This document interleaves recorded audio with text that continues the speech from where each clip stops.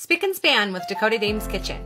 If you love camping or you have a lot of campfires at home, glue some sandpaper to the top of your match containers to keep you from striking out with your matches. A little side note, use a mason jar to do it.